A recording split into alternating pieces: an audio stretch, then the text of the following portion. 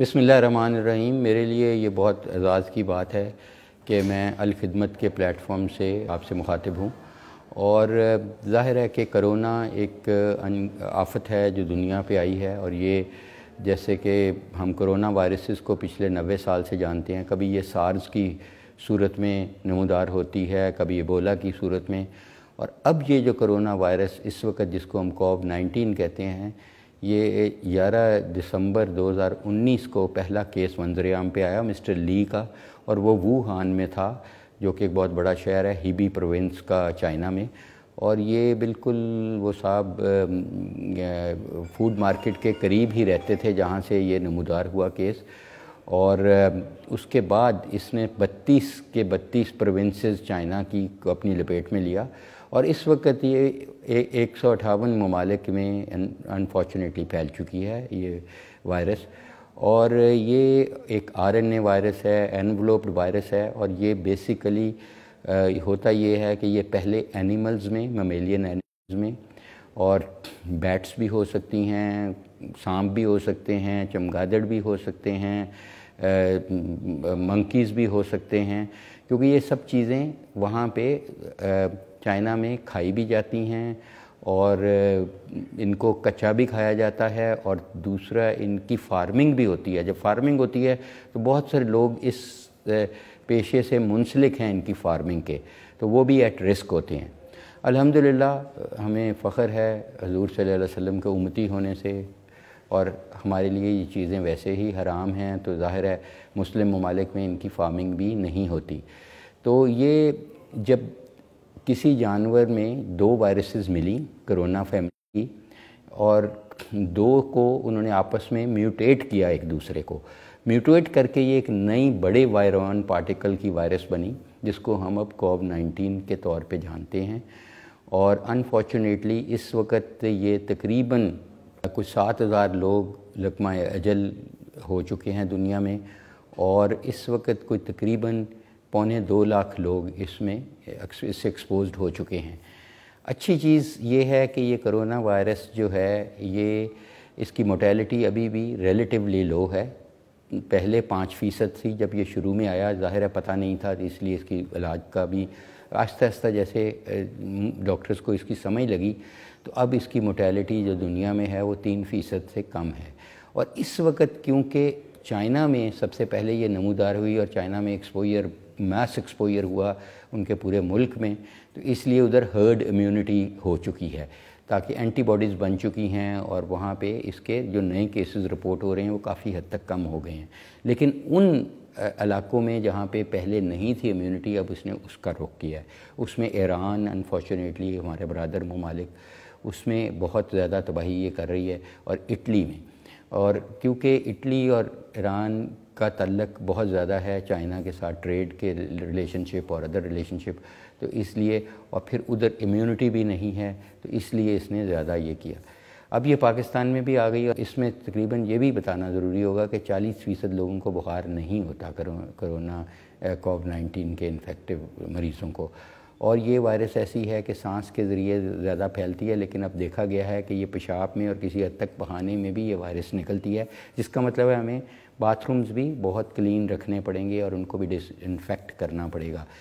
اور یہ virus basically اس کا انکیوبیشن پیریڈ از اینی thing from five days to fourteen days چودہ دن تک ہو سکتا ہے۔ یعنی آپ اگر یہ وائرس آپ کی جسم میں انٹر بھی ہوئی ہے سانس سے، تو چودہ دن تک آپ کو کوئی علامت نہیں ہو سکتی۔ اور چودہ دن کے بعد اکثر اس کی علامت یہ ہے کہ خشک کھانسی اور آپ کے چھاتی کو ہیوی ہونا، سانس کی تکلیف ہونا اور بعد میں آپ کے نیلا پن ہو جانا جسم کا، کیونکہ یہ بیسیکلی شروع میں اٹیک کرتی ہے لنگز کو، جو کہ ایک الاسٹک آرگن ہے، غبارے کی طرح آرگن ہے، پھولتا ہے، وہ سخت ہو جاتا ہے، جگر کی طرح بن جاتا ہے۔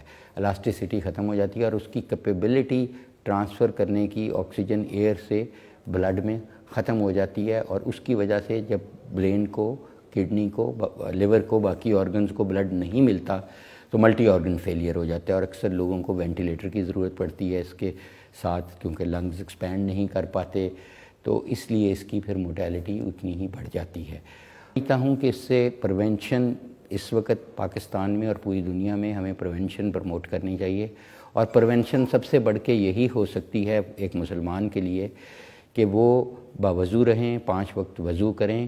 اور وضو اٹ سیلف ایسی چیز ہے کہ اللہ تعالیٰ کا یہ حکم ہے کہ ہم نے نماز کی کوئی چھوٹ نہیں ہے، چاہے ہم مر بھی رہے ہیں باقی فرائض میں سے پھر بھی آپ کو چھوٹ ہے کسی نہ کسی طرح اگر آپ غریب ہیں تو زکوٰۃ نہ دیں، اگر آپ بیمار ہیں تو حج نہیں کریں، روزہ نہیں رکھیں۔ لیکن اس نماز تو آپ بیمار مرتے بھی ہیں تو اشاروں سے بھی پڑھنی ہے۔ تو نماز کے لیے ضروری وضو ہے، اور وضو ایک ایسی چیز ہے کہ آپ کی ہائیجین بہت امپروو ہوتی ہے۔ آپ کے ہاتھ آپ دھوتے ہیں، آپ چہرہ دھوتے ہیں، آپ ایکسپوزڈ حصہ دھوتے ہیں اس سے بہت حد تک بچاؤ ہوتا ہے اور اللہ کرے کہ یہ سنت اور یہ فرض ہماری زندگیوں میں آ جائے تو ہم بہت حد تک بچیں گے۔ باقی ویسے بھی صفائی نصف ایمان ہے اور نصف ایمان اگر زندگیوں میں آئے گا تو اوبویسلی اللہ تعالیٰ کی رحمتیں بھی آئیں گی، اللہ سے ہم گڑ گڑا کے دعا بھی کریں گے کہ اللہ ہمیں بھی اور تمام دنیا کو اس سے محفوظ رکھے۔ اور ایک جو ویسے بھی ہم سنت رسول پوری کریں گے کہ رسول اللہ صلی اللہ علیہ وسلم نے ہمیشہ صفائی کی تلقین کی، خود پریکٹس کی انہوں نے۔ کھانا کھانے سے پہلے وہ ہاتھ دھوتے تھے اور اس کو تولیے سے نہیں صاف کرتے تھے۔ یہی ابھی بھی گائیڈ لائن یہی ہیں ڈبلیو ایچ او کی۔ کھانے کے بعد آپ ہاتھ دھوئیں تو اس کو تولیے سے صاف کریں اور کوشش کریں کہ آپ کراؤڈ نہ ہو کہیں۔ زیادہ سے زیادہ دس لوگوں سے زیادہ کٹھے نہ ہوں اور زیادہ تر آپ ٹیکنالوجی یوز کریں۔ اور یونیورسٹی آف ہیلتھ سائنسز نے آج پورٹل لانچ کیا ہے، اسی لیے ٹیلی میڈیسن کا۔ کہ ہوم بیسڈ کنسلٹیشن دیں ٹیکنالوجی کے ذریعے کنسلٹیشن دیں، بجائے دس دس بیس بیس ہزار لوگ ہاسپٹلز میں جانا شروع کر دیں، ان کے ساتھ دو دو اٹینڈنٹ ہوں، تو وہ ایک بہت بڑا کراؤڈ ہوگا اپنے لیے بھی بیماری، ان کے پھیلنے کا خدشہ بڑھے گا اور لوگوں کے لیے بھی بڑھے گا اور ہاسپٹلز بھی کنٹیمنیٹ ہوں گے۔